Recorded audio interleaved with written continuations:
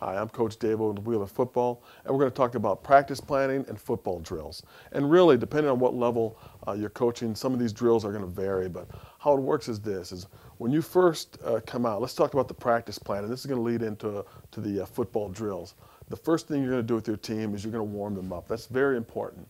So you might do this by running them a lap around the field, um, doing some slow jogging, things like that. You want to warm them up. And then we do what we call a team stretch. We have the team in a circle or maybe four to five lines where they're stretching and really getting those muscles nice and loose.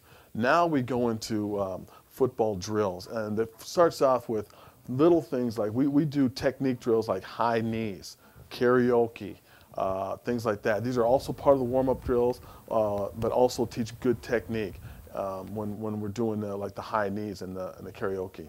From there, we're going, what we do are fundamental drills, and we will split up our linemen and backs into different groups because each position has different fundamentals they want to work on.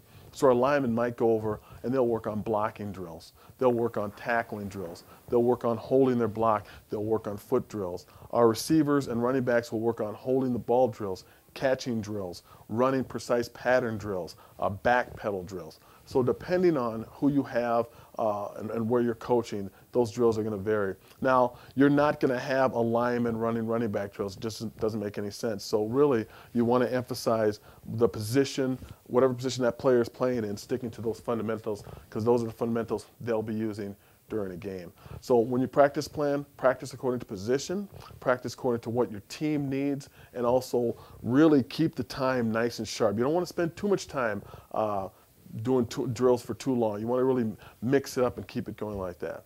But so when you practice plan, it should go like this, where you warm up, you do your um, fundamental drills, you go into your team drills, you do last some conditioning at the end. Really, that should go about two hours, and you're done.